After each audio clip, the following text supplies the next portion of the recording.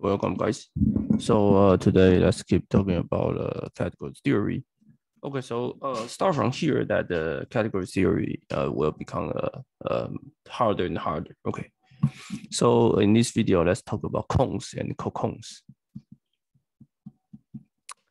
Okay, and then we will also talk about the colimit and limit. Okay, so up to start from here that uh, we will start some uh, a little bit abstract things. Okay, so let's go your definition. So definition is called a shape. Okay, so diagram of shape. Okay, so this idea is the first abstract things that uh, a little bit hard to understand. So uh, idea is that J be an index category. Okay, so you can view index category just uh, uh, there's a, some integer, right? There's a basic subset of integer, but there's an arrow. So for example, you can say one, two, three, Okay, so this is just some element. So basically, uh, this is just some category. So basically, index category just means that you can index something, and uh, but uh, there is an error. Okay, and uh, there's a functor from index category to C to the category C. This is called a diagram. Okay, so somehow like hard to understand what's going on. Okay, so maybe maybe uh, let's do some uh do a little do example. Okay. Uh, so for example, uh, so let's say example. Uh, yeah. So basically, uh, let's say so. Example is that uh, uh, suppose you have A and B, right? So if if if you have category C, and you pick two objects, let's say A and B be the object of this, you just put A and B, and uh, and then there's no arrow here. Then you can say that oh, this A and B are basically the uh, just one, just, just one type of diagram. And also if you have a keep go, if you have the index from A0 to A1, A up to keep going, this is also a index. Uh, this is also a diagram. If you have A, B, C, this is also a diagram. So any type of diagram can be viewed as an index category and function. So basically, uh, you can forget about definition. You just view this as a some type, uh, some special type of diagram. Okay. Okay, so uh, once you have this diagram idea, that uh, that uh, we one can uh, construct a cone. Okay, so a cone to a diagram J.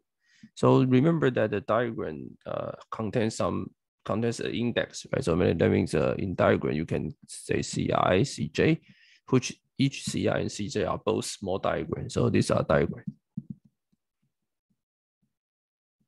Okay. So a cone, well, so what is a cone, right? The cone means that uh, for each for each object, right, you need to uh, so for a cone is an object, is an object. In uh, category C, let's call it the curly C, and the arrow. Okay, so an arrow from uh from C to CI. So basically, for each uh, let's call it small. Let's call it, uh, yeah, so this is band notation. Yeah, let's call it this xi and xj. Okay, and then this is called ci. So basically for, for each xi diagram, xi type, the x, x diagram labeled by i, you can construct the ci, okay? So from, uh, yeah, so this is, so this, let's call it objects, uh, large c, large c, uh, this is uh, c such that uh, such that what? So such that uh, if you see you have xj xi right by an arrow then you will have some arrow called s alpha and your c will be here. Okay so basically these arrows for each i are fixed. So make this diagram commute. Are called uh, basically this is called cone. Okay so this is a cone. So cone means that uh, for each object in such diagram you are you are care uh, you are worried about or you care about, you can construct morphism sending the object to such diagram. Okay. Okay, so let's talking about example. Uh, otherwise that nobody understand what, what I'm talking about. Okay, so one thing is uh, called product. So product means that uh, if somebody give you a diagram and B, a product means that uh, the the product is an object, right? Called P. Uh, uh, from uh, this P, and you need to define a two map, right, from pi one, pi one and pi two. Okay, such that if you have any other object X, if you have any object X contains the this two map, let's say this is X1 and X2, then uh, there's unique uh, morphism from X to P. This is the definition of product. Okay, so if you uh, if you forget about uh, this this type, you only say that if I only give a B and I working with such such diagram, then uh, I can say that P is a cone, uh, P is a cone, right? Because P sending P is object sending out arrows to A, A and B. Yeah, so yeah, for so in the products, my diagram is just two objects A and B, and this P is just a, a replace a C here. So P is just a cone. Okay. Okay, so uh, then we can define a cone. Uh, we can define a cone. We gotta define a cone category, right? So uh, this is should be a, a diagram, right? So let's say diagram. So given a set of di given a type of diagram, you can define a cone category. So cone category basically is uh so each cone, right? Each cone contains an object C and a set of morphisms C, J, and another cone contains the C prime and the CJ prime. So such that, uh, and there's a morphism, right? You need to define morphism. So what's morphism? Morphism means that, uh, let's call it morphism theta. So such that if you are C map to C prime, right? This is the morphism. And uh, this is CJ, XJ, and then you get CJ prime. Okay, so such that this diagram commute. Okay, I hope I'll, i hope you guys understand what I'm talking about. So what's so cone means that uh, so for each each i and j, right, makes these small diagram commutes are called cone, are called cone. And uh, if so, each two cones you can define morphism, right? The morphism means that from uh, C to C prime, there's a map, and the CJ and CJ prime are X. So basically, you the cone means the the core morphism means that all the theta are such that these small diagram commute. Okay, and uh, this will form a category. Okay, so called cone category. Okay, so the dual the dualized idea, so dualized idea is called a uh, cocone, cocone. Okay, so cocone is also uh, obviously right. So if you have a set of xj and xi, and there's a morphism, then right, then you can you the cocone means that uh, for there is a is this object which absorb all the arrows. So let's say this is Cj, C, Cj and Ci. Okay, so this is this C and all these arrows is called just cocone, cocone. Okay, and then you can define a cocone category, cocone category. So basically for each C, uh, you can, so this is this. Uh, so for each J, you can send out a map Okay, so this is a cocone. Okay, so you see the cocone is the same as cone, just reverse all the arrows. So this is the idea of the dualization. So dualize, dualize means that uh, change all the arrow, change the arrow direction. Okay, so this is cocone category and cocone. Okay. Okay, so from here that uh, we already know what's cone and cocone, right? So basically for given diagram, you can define a cone and cocone. Okay, so from here, let's uh, let's define the limit and the co-limit. Okay, so this is very uh, abstract idea, right? If you learn about the group theory, then maybe you know something about limit and co-limit. Okay, so let's see. So let's let me just give you an answer. So let's def definition. So definition, what is a limit? A limit is just a is just a so basically, if you if I give you a diagram which is some functor from so-called index category to category C, then limit just a terminal object in cone. Okay. So basically, given a cone, right, you, you can construct so-called cone category. So the cone category, the terminal object of in the cone category is basically the limit. Okay, so you can dualize dualize the idea. So this become co-limit it's just a initial object. Okay, so everyone knows about initial object, right? I I I think in the second video that uh, I presented what's initial object. basically it's initial object in a Cocone. Okay, so this is a definition. Yeah, the serialized idea. Okay, and uh, there are uniqueness. Okay, and the proof is just trivial, right? The proof is trivial since the universal property of terminal and initial object are, up to isomorphism. So initial and uh, terminal is unique up to isomorphism. Okay, because the term, uh, I think very easy to prove, right? The terminal object, the terminal object means that there is only one arrow sent to that.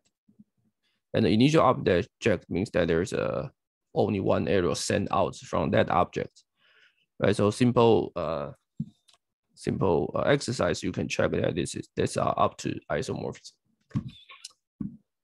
Okay, so uh, from uh, if okay, so if you have a and Cocone idea, then uh, you it will be very easy for you to uh, construct a lot of things like co-product, co-product, and uh, push out, uh, push uh, push out, or somehow like uh, that kind of things. Okay, so uh, before uh, we finish, let's talk about example. Okay, so finally, let's talk about the limit and inverse limit. Okay, so somehow we already have the we already have the idea of the limit and co-limit, right? So define a direct limit should not be difficult. Okay, so let's define a. Okay, let's a diagram. So my diagram is choosing to be omega, which is just the integer and the uh, less or equal. Uh, yeah, Okay, so basically our category, uh, our our diagram looks like this. So basically, in a category sense, that we have this. Okay, and this is there's a map, right? So or the morphism. Okay, keep going. This A2. Okay, so I define the direct limit. So basically, the direct limit is just a limit in this diagram. In this diagram. Okay, so that means uh that means uh so remember limit. Limit means that the uh, issues limit means that uh what? So if you we go back to the previous, so the limit so limit means that uh, you should start from your some object which send out to be the send out to the objects. Okay. So the limit should be something here, right? So let's call this is limit. So that's so the usual notation is that an, right? So this is that's called a infinity. So a, a infinity should put it here, right? And then you should send out a lot of the map. You should uh, so you should everyone should send uh send it, right? So everyone should everyone should send send it in.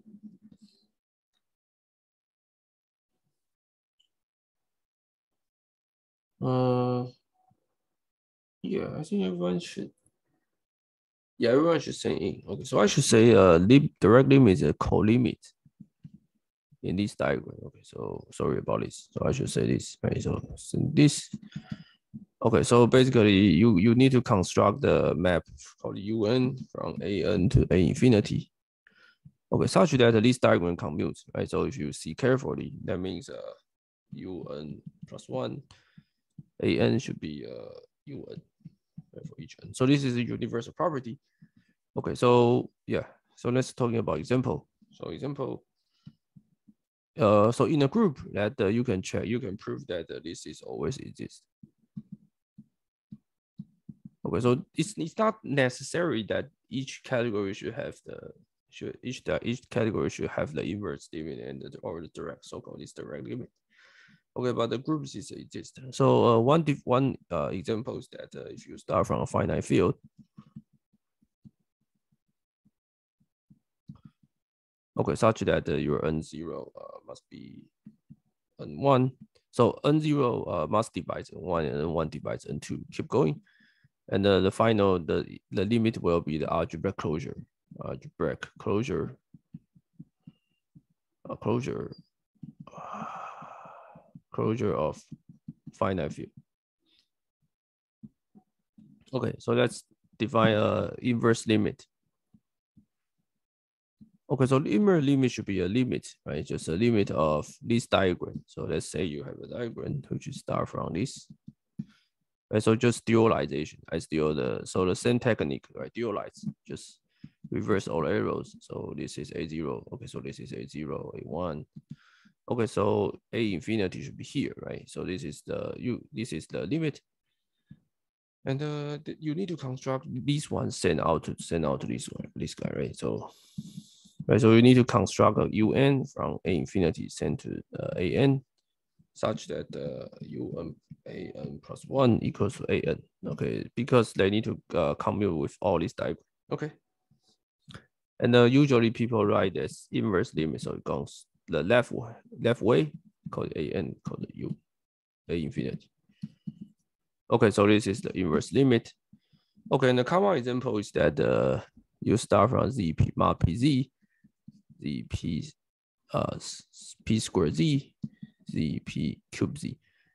Okay, so this is the so this is the abelian. This is the field, right? Ma, which is a modulo p square right? So you can modulo p squared can map to modulo p.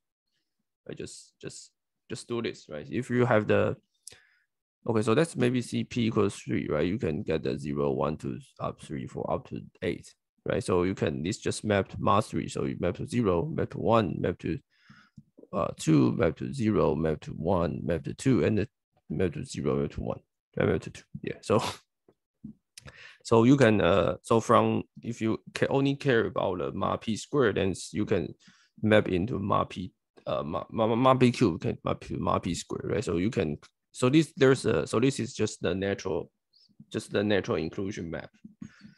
Okay, and uh you can talk about inverse limit.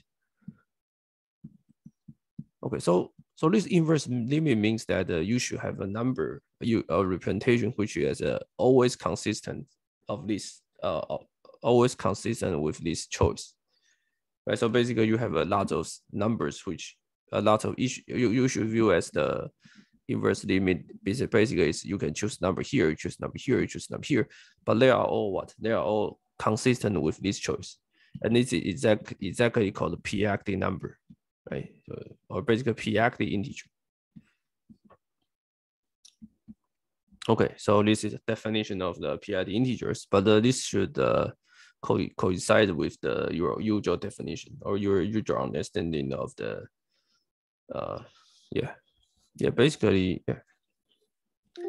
Okay, that's it. Uh, so now we have the cone and Kohn idea.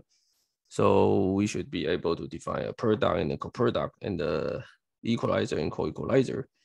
And basically a lot of uh, push, pull back and push out. So they are basically the special type of cone and co-cone. Okay, or the limit and co-limit. Okay, so I think the limit and co-limit are very important idea. Okay, see you guys uh, next videos.